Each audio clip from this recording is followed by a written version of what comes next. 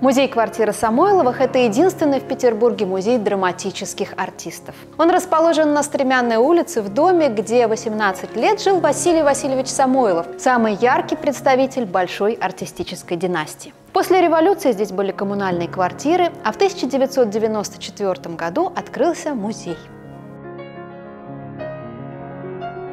Отец хозяина этого дома, Василий Михайлович Самойлов, родился в купеческой семье, но бросил все ради карьеры оперного певца и дослужился до главных ролей в Петербургском Большом каменном театре. Его сын Василий Васильевич в середине XIX века покорил драматическую сцену, а внук Павел на рубеже XIX-XX веков собирал полные залы своей мелодекламации, выступал на главных сценах столицы и много гастролировал в провинции.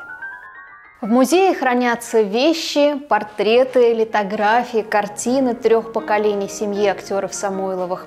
Но главное – истории о Самойловых и о других петербургских артистах, которые мы рассказываем на наших экскурсиях.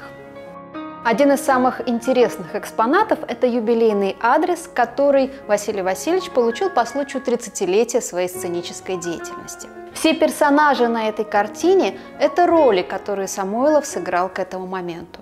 Здесь есть и кардинал Ришелье, и Гамлет, и король Лир, и даже старая графиня, которую Самойлов играл в одном из водовилей с переодеванием. Портретном зале собрана экспозиция, посвященная театрам XIX века, актерам-современникам Самойловых, а также театральной публике. Здесь есть все, что понадобится зрителю в XIX веке. Билеты, ларнет, веера, зрительские трубочки-одноглазки. А еще тут можно отыскать реквизит, театральные сувениры и много других деталей. Вторая часть музея посвящена звездам петербургского балета, танцорам труппы Дягилева, ученицам Вагановой и советской балетной школе. Здесь есть портреты, фотографии, личные вещи и, конечно, костюмы известных танцовщиков 20 века.